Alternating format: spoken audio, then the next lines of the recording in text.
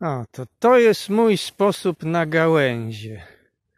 Tu na przykład wzdłuż granicy swojej pościnałem trochę takich dużych, dużych wierzb, które tam kilkanaście lat temu albo troszkę więcej jako takie małe gałązki wtykałem na ukorzenienie.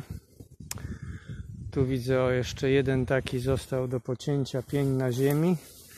No i co? I te mniejsze, cieńsze gałęzie usta układam w sterty od razu, tak wzdłuż.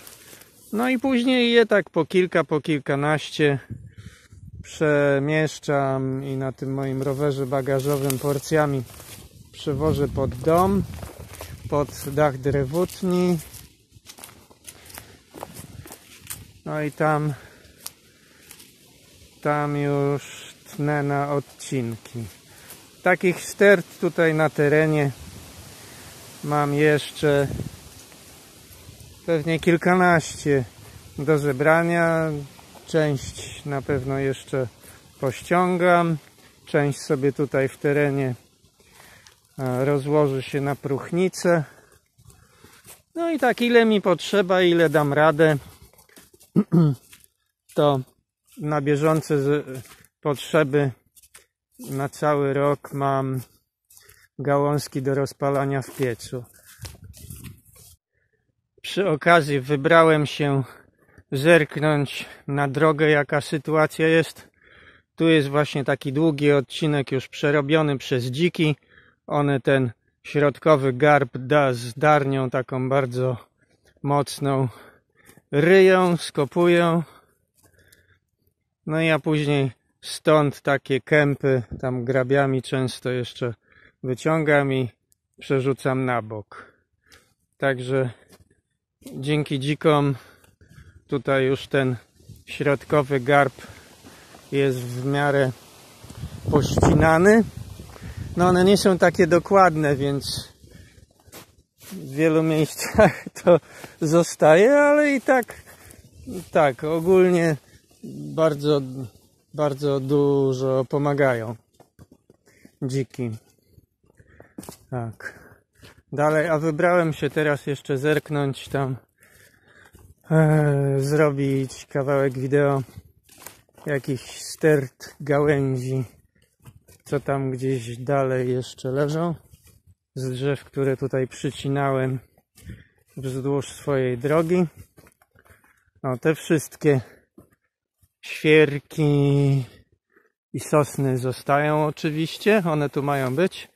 No z samosiejek olszyny i wierzby rosną na potęgę, więc to mam na opał. O, tu jest taka bardzo ciekawa wierzba o takim pokroju bardziej krzaczastym. Ona mi się bardzo podoba, więc Tutaj tylko o, odcinam, obcinam to, co rośnie, żeby droga była przejezdna, a w tamtą stronę niech ona sobie rośnie.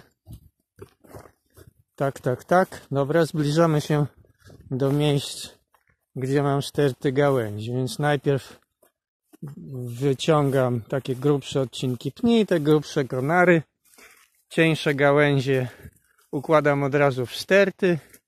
No i na przykład tu jest kolejna sterta, to myślę za jednym razem na jeden transport moim rowerem bagażowym sobie załaduję i przewiozę pod drewutnię. Tu jeszcze taka mniejsza sterta do wzięcia. No tam trochę gałęzi jeszcze do powyciągania z jakiejś wierzby, która tutaj rosła. Taka większa. No a tak, a, no tak, dużo, dużo tych wierzb jeszcze rośnie, takich średnich, to na kolejne lata będzie do wykorzystania. Trochę jeszcze takich większych, jak na przykład ta wierzba jest do ścięcia, to można będzie na bieżąco, kiedy tam będzie potrzeba i możliwości przerobowe. No i tak, a tutaj ciąg dalszy drogi to w zeszłym roku dziki tutaj na tym odcinku sporo tego garba pościnały, no a teraz jest w miarę, w miarę płasko już tutaj. No tyle, że o, trawa rośnie i warto by było przejechać. Na to mam nadzieję już jak będę miał takie nożyce do żywopłotu elektryczne ściąć, bo dużo takich małych głogów tutaj rośnie. Trochę olszyn się porozsiewało.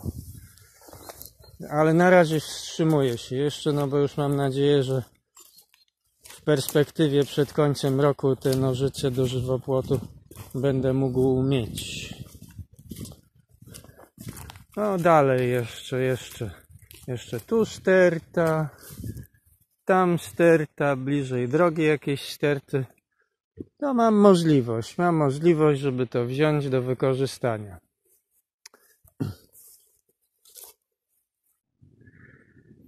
I tak kolejne porcje rowerem bagażowym, jak tutaj pod dach drewutni przywożę, to zrzucam tutaj w sterty przy pile. I na tej pile stołowej elektrycznej takiej o typowej tnę na odcinki te grubsze troszkę. Akurat fajnie mi się tutaj układa w takie stosy między tymi e, filarami. A, a cieńsze gałązki pocięte na odcinki takie, które są właściwe na długość do mojego pieca. No to tak o sobie układam. Trochę równo, żeby później wygodnie można było porcję kilka garści wziąć na rozpalanie w piecu. Tu z przodu takiego drobiazgu, takich resztek odcinków. Poukładałem sporo i takiego zupełnie drobiazgu. To wszystko jako materiał na opał jest do wykorzystania. No i tak, tak, tak. Te gałązki układane, one zajmują po ułożeniu z 3-5 razy mniej miejsca, więc to jest jeden aspekt, że mniej miejsca to zajmuje pod dachem. No a druga rzecz, w zasadzie to jest ważniejsze, że za każdym razem do rozpalania w piecu po prostu szybko można wziąć pod pachę porcję gałęzi i wtedy, kiedy nie ma czasu na to, to natychmiast te gałązki są gotowe do wrzucenia do pieca. To taki mój sposób na, gałę, na gałęzie do wykorzystania na rozpalanie w piecu. O, a, a na tym stosiku e, układam takie krótsze odcinki. To specjalnie czasami tnę krótsze, albo jak krótsze zostają po cięciu. No i te krótsze są odpowiednie do mojego pieca, do pieczenia chleba i tam do gotowania dużych ilości jedzenia naraz. Słychać buczenie pszczół na tym żółtym. One teraz łażą, zbierają nektar. Jak zwykle, no, no, no, co to jest? Nawłoć. Mam, nawłoć. Także latają, chodzą, jest środek dnia, zbierają nektar i pyłek.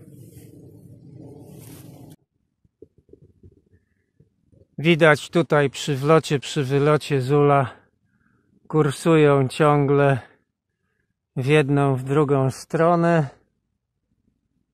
Aktywnie działają, gromadzą zapasy na zimę.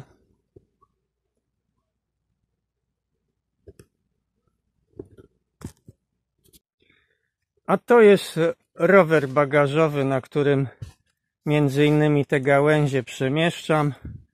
Skrzynia ładunkowa, taka z rurek ze stali kwasoodpornej i sprętów na dole. Pospawałem, dospawałem. Tutaj z boku trzecie koła, dwa koła rowerowe z przodu, z tyłu. Także można do tej skrzyni naładować całą taką wielką stertę gałęzi jeszcze tutaj z górką i na tym rowerze No już wtedy prowadząc, ręcznie go pchając, przemieszczam sobie pod drewutnie.